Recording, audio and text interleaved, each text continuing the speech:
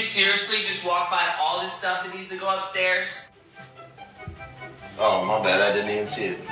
Now, don't be fooled. Men see the things on the stairs that need to go up. They also see that the dishes need to be washed and that the trash has to go out. They see the toilet paper roll that's empty sitting there and the laundry that can be swapped to the dryer. They see that the kids need new shoes and that the lawn's getting a little bit long. They see the forms on the counter that need to be filled out for the school field trip. They see these things. Their eyes work. Don't let them trick you. They see all of this. What they are doing, though, is they're choosing not to do it because they don't feel accountable to it.